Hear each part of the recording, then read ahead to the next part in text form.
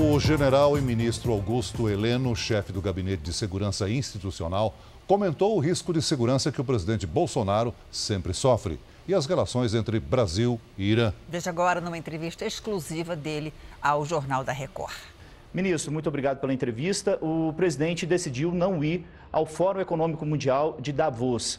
E no início da semana ele falou que tinha questões relacionadas à segurança. Que questões são essas? Não, o Fórum de Davos já está definido, ele ontem já bateu o martelo que não iria e eu não tenho maiores detalhes. Não tem nenhum risco de segurança do presidente nesse evento? O risco de segurança do presidente sempre tem. O presidente é sempre um alvo altamente compensador, principalmente o presidente Bolsonaro.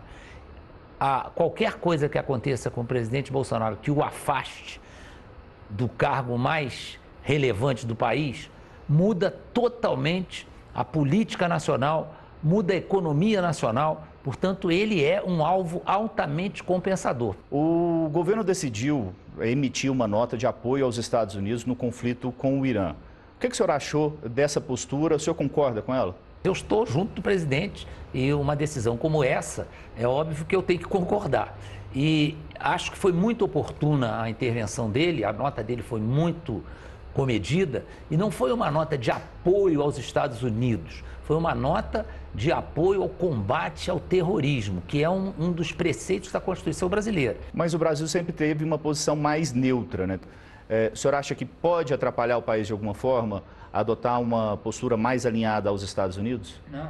não, não foi uma questão de posição mais neutra. O Brasil nunca foi neutro em relação ao terrorismo. Nós sempre fomos principalmente o presidente Bolsonaro sempre foi radicalmente contra terrorismo. Né? Então, isso aí está dentro exatamente do que ele pensa.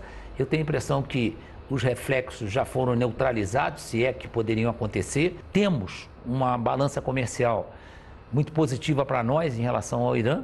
Nós não queremos perder essa oportunidade de manter essa relação comercial, mas nem por isso vamos bater palmas para possíveis ações terroristas de qualquer dos nossos parceiros. Ministro, muito obrigado pela entrevista. Obrigado.